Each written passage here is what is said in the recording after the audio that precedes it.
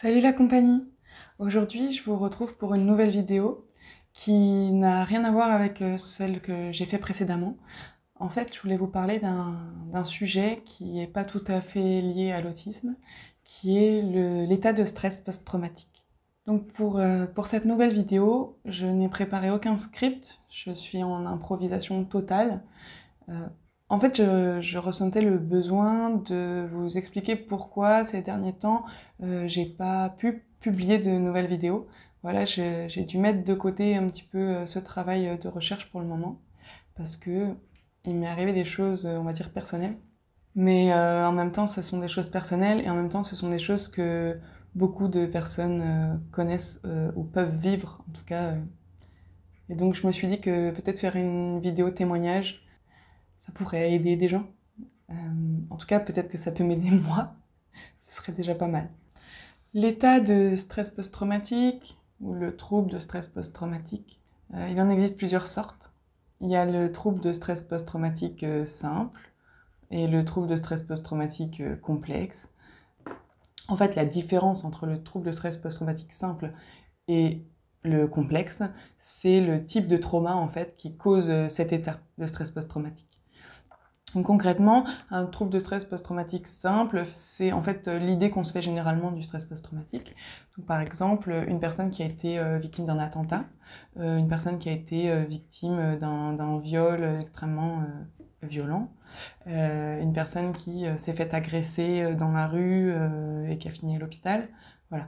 Donc il y a un événement en fait traumatique grave qui va, on va dire, bouleverser la vie de la personne qui le subit. Donc euh, dans le premier cas, c'est un événement euh, très grave euh, et très choquant qui va amener à cet état de stress post-traumatique. dans le deuxième cas, donc pour le cas complexe, en fait, c'est une série de micro-traumas sur une certaine période qui vont amener, qui va amener en fait le cerveau dans cet état de stress post-traumatique. Donc, j'espère que c'est clair. Moi, j'ai mis beaucoup de temps avant de comprendre ce que me disaient euh, les psychologues à mon sujet. Euh, c'est-à-dire que pour les psychologues, euh, j'avais vraiment l'état psychologique d'une personne qui a subi de la maltraitance enfant, qui a subi des viols, alors que moi, quand je regardais un peu ma trajectoire biographique, en fait, je ne voyais pas ces choses-là. Et donc, je n'arrivais pas à comprendre pourquoi on me disait que j'avais cet état psychique-là qui correspondait pas en fait avec euh, la réalité de, mon vécu, ou en tout cas du vécu dont, je me souvenais. Euh, je vais entrer un petit peu plus en détail sur ce qui se passe dans le cerveau au moment où on vit en fait un, événement traumatique. Quand on vit un, épisode traumatique, généralement ce qui se passe, c'est que euh, généralement ce qui se passe, c'est que le cerveau il arrive à traiter les informations et finalement ça ne devient pas traumatisant.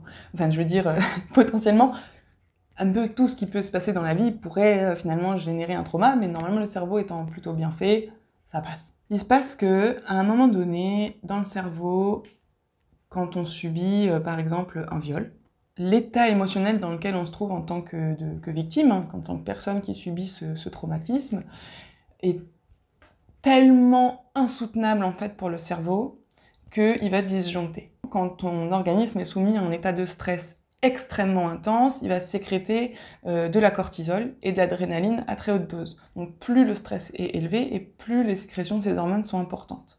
Sauf que si on sécrète de la cortisol à trop haute dose, ça peut être euh, toxique pour le cerveau, ça peut conduire à la mort. Et de la même manière, si on sécrète de l'adrénaline à trop haute dose, ça peut être toxique pour le cœur, conduire à un arrêt cardiaque, donc à la mort. Et donc, afin de se protéger de, de, de cet excès d'hormones en fait qui deviennent un, poison, le cerveau disjoncte et vraiment va venir couper les connexions et donc on va basculer dans ce qu'on appelle en fait un état dissociatif. C'est-à-dire que euh, on n'est plus connecté à ses perceptions euh, sensorielles, émotionnelles et, et on, on, vit les, les, les choses à, un peu comme si on était détaché de, de notre propre corps. Donc euh, une personne qui est euh, qui est sous le coup donc d'un stress post-traumatique, quand elle va reparler en fait euh, de, de, de l'événement qui a conduit à cet état, elle va généralement en parler avec un détachement total en fait, un peu comme si c'était arrivé à quelqu'un d'autre. Et Et même moi, pour avoir des fois raconté des choses qui m'ont traumatisé, des fois je rigole même. Alors qu'au fond de moi, j'ai, j'ai pas envie de rire. Mais voilà, c'est comme si c'était extérieur à moi. C'est comme si c'était pas à moi que c'était arrivé. Dans toutes les, conséquences qu'il peut y avoir de cet état de stress post-traumatique, il y a par exemple euh, le fait de faire des cauchemars. Donc la fonction du rêve, hein, elle est essentielle. Le rêve, il, permet de, traiter en fait les informations euh, émotionnelles, sensorielles de la journée pour euh, se préparer au lendemain et de faire décanter un peu toutes ces informations. Donc concrètement, si on a vécu un traumatisme, il y a des informations qu'on n'a pas traitées, que le cerveau a mis de côté à un moment donné. Et donc le rêve, lui, il est là pour essayer de, rejouer en fait ce scénario pour y trouver une, j'ai envie de dire, une issue favorable. Sauf que manque de bol, généralement, quand on subit un viol, on n'a pas les ressources euh, pour s'en remettre. Donc euh, on a tendance après à, à, faire des cauchemars sans arrêt où on se fait violer, quoi. Et, euh, et c'est terrible, parce que au lieu de, finalement, au lieu que le rêve vienne aider à surmonter le, trauma, en fait, il ne fait que le renforcer. Qu'est-ce que ça génère d'autre comme, euh, comme symptômes? Donc, par exemple, chez moi, c'est euh, énormément de fatigue. Beaucoup, beaucoup, beaucoup de fatigue. Euh, les flashbacks. Ah oui, ça, les flashbacks, c'est quelque chose bah, qui contribue, en fait, à cet état de fatigue. C'est-à-dire que, à un moment donné, je vais sentir une odeur ou je vais entendre un mot qui vont me rappeler, en fait, ce truc-là que j'ai vécu. Et mon cerveau, il va repartir dans cette direction et je vais revoir euh, des images, euh, je vais avoir des sensations, même parfois physiques. Hein. Donc euh, ça peut être des douleurs pelviennes, ça peut être, en ce moment, c'est beaucoup la nausée. quelque part, c'est le corps qui essaye d'extérioriser en fait ces émotions qui n'ont jamais pu l'être. Quand on vit cet épisode traumatique, ou cette série euh, d'épisodes traumatiques. Donc dans mon cas, c'est plus du stress post-traumatique complexe. Hein. J'ai pas vécu un événement traumatique grave, mais euh, sur une certaine période donnée, j'ai vécu plein de petits traumas qui se sont enchaînés, répétés, euh, toujours un petit peu de la même façon. Donc quand, on, quand on vit ces épisodes-là, en fait, on va vraiment pas avoir la possibilité à aucun moment d'extérioriser, de ressentir vraiment pleinement les, émotions qu'on a, a vécues sur le coup. Et donc le, on, c'est comme si, euh, à un moment donné, à force d'avoir euh, ces flashbacks, ces cauchemars, enfin, je veux dire, c'est insupportable. Et euh, moi, j'ai eu cette petite stratégie très imagée, mais je pense que d'autres personnes qui ont vécu des traumas connaissent. C'est ces souvenirs-là, à un moment donné, on les prend et on va les enfermer dans une petite boîte, tout au fond, tout au fond de sa mémoire, à double tour, et on va perdre cette boîte quelque part, on ne sait même plus où on l'a rangée. Tout ce qu'on veut en fait, c'est que ces souvenirs-là, ils disparaissent. On ne veut plus qu'ils viennent nous exploser à la figure. J'ai réussi à enfouir ça très très très très loin tout au fond de moi, à tel point que hum, finalement j'ai mis tout un tas de stratégies d'évitement de ma propre pensée pour éviter en fait d'avoir à, ressasser ça. Et, euh, j'ai réussi à oublier euh, énormément de choses que j'ai vécues jusqu'à récemment. En fait, récemment, j'ai eu ce qu'on appelle une levée d'amnésie traumatique. La levée d'amnésie traumatique, c'est... Bah, en fait, c'est un phénomène que je connaissais pas avant de le vivre. Et quand je me suis retrouvée sous le coup de ce truc-là, ça m'a vraiment fait très très peur. Ça a généré des angoisses vraiment très très intenses. Et donc, j'ai fait des recherches pour essayer de comprendre ce qui m'arrivait. Et j'ai fini par comprendre que j'étais pas en train de devenir folle, que c'était une réaction normale de mon cerveau face à quelque chose de pas normal qui lui était arrivé. Dans mon enfance, j'avais des, des proches de ma famille qui m'ont fait énormément de, mal. Et euh, pas besoin de détailler le, les manières. Et ce qui se passe, c'est que 1, 2, 3, j'y arrive pas. Je vais réessayer, je vais reprendre. Parce que j'aimerais bien pouvoir parler de tout ça, en fait, sans donner de détails euh, importants de ma vie et sans non plus euh, incriminer des personnes de mon entourage, parce que c'est vraiment pas le but. le but, c'est plutôt d'essayer d'expliquer, en fait, vraiment l'état dans lequel je suis, les différentes étapes par lesquelles je suis en train de passer. Et voilà. En fait, euh, une des choses qui est vraiment insupportable quand on, quand on vit ce stress post-traumatique, c'est que quand on a ces, ces, résurgences, ces flashbacks qui viennent et qui nous envahissent, le, cerveau en fait est un peu dépendant à, cet état dissociatif qu'il a protégé le jour du traumatisme et donc a tendance en fait à, se remettre dedans. Je sais que quand j'ai des flashbacks comme ça qui viennent, d'un seul coup, j'ai les yeux qui se perdent dans le vide. Je, ça y est, je sens que je suis déconnectée de mon corps. Je suis plus tout à fait ici et maintenant. Je suis un petit peu ailleurs. Et je suis pas tout à fait là. Et si on me parle, j'entends, mais comme si c'était très loin. Et j'ai du mal, beaucoup de mal à, à revenir dans mon corps pour, euh, pour juste bouger, par exemple, pour répondre quand on me parle. Comment ça se passe en général quand on subit une amnésie traumatique et qu'on a à un moment donné ce qu'on appelle cette levée d'amnésie traumatique? Donc en fait, c'est quand on n'est plus en contact avec euh, l'agresseur. Donc euh, par exemple, euh, un enfant qui aurait été victime d'inceste de la part d'un de ses parents, euh, souvent va avoir cette levée d'amnésie traumatique, va commencer à se rappeler vraiment de ce qu'il a vécu au moment où l'un des parents ou le parent responsable de cette situation décède, par exemple. Donc euh, en fait, dans l'inconscient, qu'est-ce qui se passe? L'inconscient se dit mon agresseur n'est plus là, je suis en sécurité, maintenant on va pouvoir traiter ces informations sereinement. Et en fait, moi, c'est un peu ce qui m'est arrivé. On va dire qu'il y a eu un événement déclencheur euh, qui a commencé à amener cette levée euh, d'amnésie traumatique, c'est quand j'ai été mise sur la piste du diagnostic d'autisme. J'ai commencé à essayer de, comprendre ma trajectoire biographique, de me replonger un petit peu dedans, et je me suis rendu compte que il y avait plein de choses finalement que j'avais vécues, et je me suis rendu compte assez brutalement que ces choses, je les avais en réalité très mal vécues. C'était des souvenirs un peu neutres émotionnellement, jusqu'à ce que je les analyse à nouveau au prisme en fait de l'autisme et que je comprenne que j'ai pour la première fois en fait le souvenir émotionnel de ces événements et que je comprenne que ça m'avait traumatisé. Donc par exemple, c'était euh, des combats de regard pour être obligé de, de regarder euh, dans les yeux mon interlocuteur. Euh, c'était m'empêcher de stimer. Donc si je faisais des gestes un peu chelous, c'était ben, on se moquait de moi. On... Voilà, c'était assez, c'était assez violent au niveau des, des, humiliations que ça pouvait engendrer. Et ah, C'est pas facile hein, de parler de tout ça, j'espère que ça va aller. Et euh, donc bien sûr, quand j'ai commencé à avoir ces premiers souvenirs, on va dire en fait les plus soft, euh, j'ai essayé d'en parler avec la personne euh, bah, qui m'avait fait du mal. Mais en même temps, sans vraiment vouloir la... Comment dire Je sais que dans ma manière de m'exprimer, je peux être très maladroite, mais mon but, c'était pas de lui dire « t'as été méchante avec moi », mon but, c'était de lui dire, mais tu sais, quand on vivait ça enfant, toi maintenant t'en rigoles, mais moi quand j'y repense, en fait, ça me fait pas rire du tout. Pour, pour moi, c'était quelque chose que j'ai vécu comme une forme de maltraitance, même si personne ne pouvait en avoir conscience parce qu'on savait pas que j'étais autiste en fait. Bien sûr, euh, la réaction de la personne a été pas du tout celle que j'aurais espérée. Et donc depuis, j'ai coupé les ponts avec cette personne.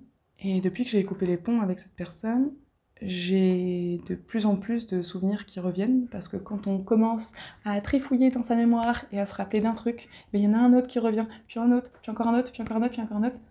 Et, et puis en fait, on se rappelle de tout. Je suis désolée, hein, je suis pas guérie encore. Mon travail thérapeutique, il est en cours, donc... Euh... Merde. Peut-être que c'était un peu tôt pour se lancer dans cette vidéo. Donc mon mental a vraiment lutté très très fort pour ne pas laisser remonter ses souvenirs. Et vraiment, il a lutté très très fort. Et mon mental est fort, donc ça a tenu longtemps.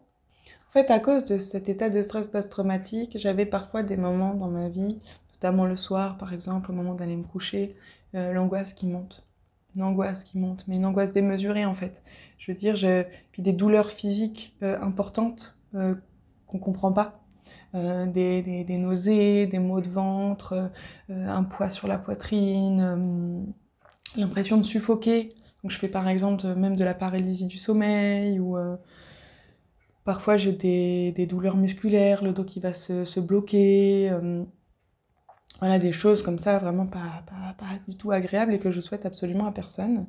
Et, et parfois, et ça m'est arrivé il y a encore quelques mois, ce qu'on appelle des attaques de panique c'est que d'un seul coup, il y a un stimulus qui va me remettre en fait dans cet état de stress post-traumatique. Euh, par exemple, je sais pas moi, une dispute avec quelqu'un, et puis la personne va me dire un mot, et euh, inconsciemment, en fait, ce mot va me ramener à cet état de petit enfant traumatisé. Je vais me retrouver dans l'état émotionnel d'une gamine de 5 ans, et, et, et je vais être sous le coup d'une panique monumentale, et je vais avoir tellement d'angoisse, tellement de peur, que, que j'ai peur d'en mourir en fait, et ça peut pousser même à des, tentatives de suicide. Donc ça peut aller vraiment très très loin, les attaques de panique, on peut mettre sa, vie en danger vraiment.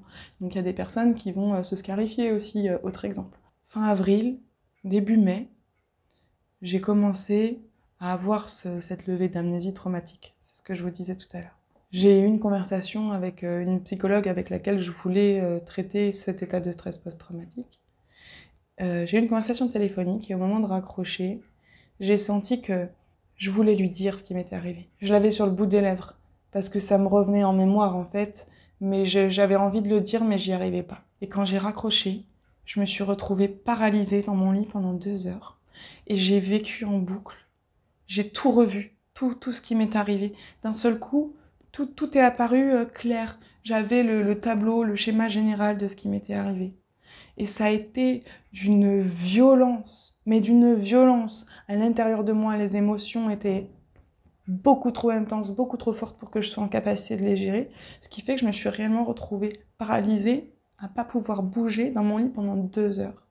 Quand j'ai réussi finalement à sortir de cette, de cette paralysie, je me suis mise à pleurer, mais à pleurer toutes les larmes de mon corps pendant à peu près aussi deux heures. Donc après ça, j'ai réussi vraiment à prendre sur moi, à ravaler tout, tout, toutes mes émotions, à les renfermer une nouvelle fois à l'intérieur de moi et à me dire bon là maintenant il faut que je fasse des choses. Donc euh, j'ai été me faire à manger, euh, voilà, j'ai continué ma petite vie. Dès le lendemain, à nouveau complètement paralysée, mais paralysée. Euh, je, me suis retrouvée en fait dans un espèce d'état dissociatif chronique où pendant quasiment une semaine, j'arrivais pratiquement pas à, à bouger. Donc j'étais coincée dans mon lit, je pouvais pas manger, euh, j'attendais toujours le dernier moment pour aller euh, aux toilettes, j'oubliais de boire. Voilà, j'étais vraiment. Euh, j'avais l'impression de me laisser mourir en fait dans mon lit et d'attendre que quelqu'un vienne me sauver. Ce qui est franchement tragique et dramatique. Et je souhaite ça à personne. Donc en fait, qu'est-ce qui m'est arrivé là pendant ces deux heures où j'étais bloquée? C'est que pour la première fois de ma vie, quand j'ai eu ces flashbacks, quand j'ai re... repensé, quand je, me suis remémoré ce qui m'était arrivé, qui a maintenant de ça euh, presque 25 ans, pour la première fois, j'y ai rattaché un souvenir émotionnel. Jusque-là, parfois j'avais des bribes de souvenirs, mais c'était vraiment émotionnellement neutre.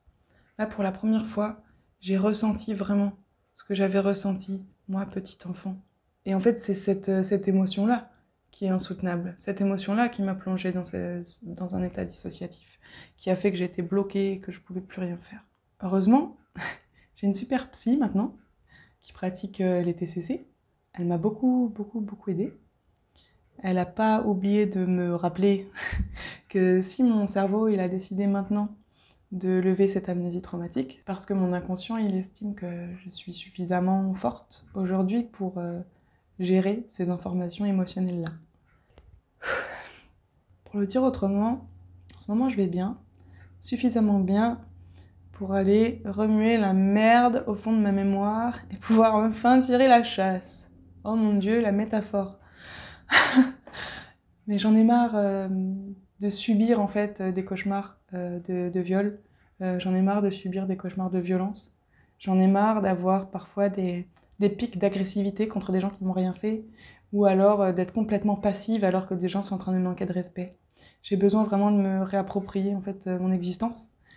Et pour ça, je fais un travail thérapeutique euh, de longue haleine, c'est-à-dire que j'écris un livre euh, pour raconter euh, une partie de mes mémoires de mon enfance et de mon adolescence.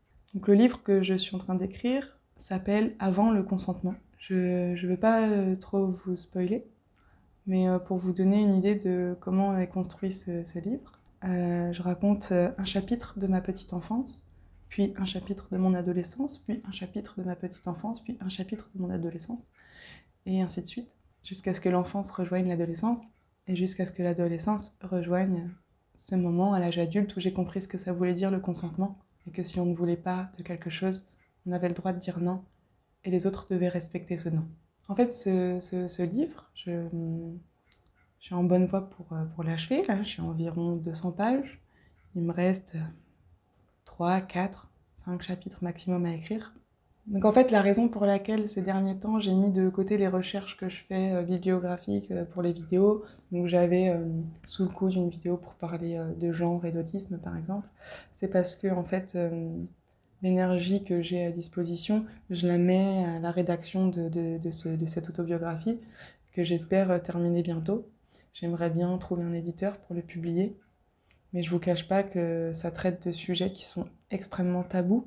Dans ce livre, il y a des scènes qui sont extrêmement violentes, euh, extrêmement difficiles, je pense, euh, pour tout lecteur à, lire jusqu'au bout. J'espère qu'après euh, l'épisode hashtag MeToo, la parole qui s'est libérée, on pourra enfin parler de, des violences sexuelles que peuvent subir les enfants, qu'on pourra enfin parler de qui sont les agresseurs, pourra enfin parler euh, des hommes qui peuvent subir des agressions sexuelles ou des viols. Voilà, il y a des, des sujets comme ça qui ont été quand même laissés un petit peu en suspens. Et euh, comme en ce moment, je suis en train d'essayer de vraiment me reconstruire. Ce livre, pour moi, c'est un peu comme un troisième accouchement, quoi. Mon troisième bébé. Et ça a un coût énorme de, de se replonger dans ces traumas. Et le coût, euh, vraiment, quand je dis énorme, c'est. Moi, j'ai coupé les ponts avec la plupart des gens de ma famille.